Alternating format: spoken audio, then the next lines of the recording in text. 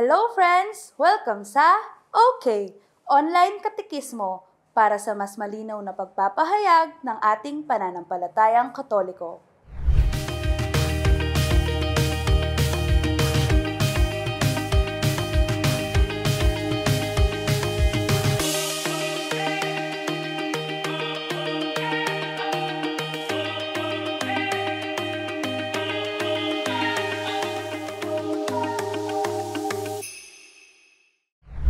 Bahagi na ng buhay pananampalataya ng isang katoliko na may panata at debosyon sa mahal na Birhen Maria at Panginoong Hesus. Ang pagdarasal ng rosaryo kapag sumapit na ang buwan ng Oktubre o lumipas man ang nasabing buwan. Ano nga ba ang Santo Rosario?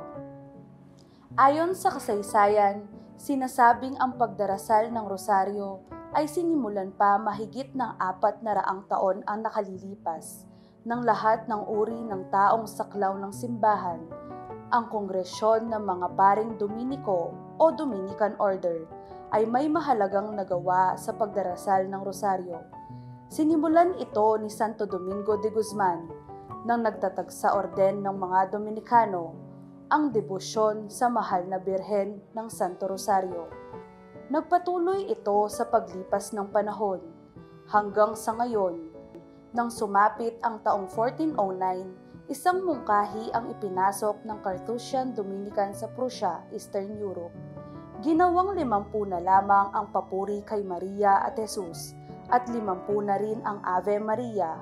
At nang sumapit ang 1483, ang limampung Ave Maria o Hail Mary ay naging labing na lamang na katumbas ng labing limang misteryo. Noong 1569, opisyal na pinagtibay ni Pope Pius V ang rosaryo at siya rin ang nagpatibay sa kapistahan ng Santo Rosario o La Naval. Kapag ganitong buwan ng Oktubre, ang kapistahan ay tuwing October 7.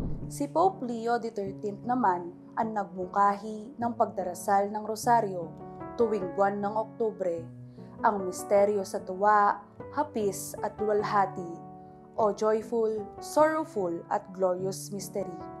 At noong October 15, 2002, sa apostolic letter ni Pope John Paul II na may pamagat na Rosarium Virginis Mariae, dinagdagan ng lima pang misteryo, tinawag na Luminous Mystery o Misteryo ng Liwanag at ang taong 2003 ay ipinahayag bilang Year of the Holy Rosary.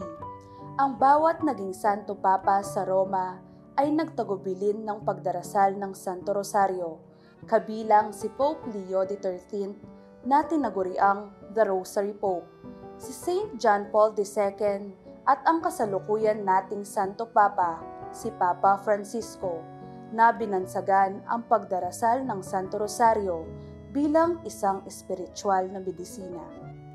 Tandaan natin na sa pagdarasal ng Santo Rosario, mas natutulungan tayong mahubog na mas ibigin ang ating kapwa.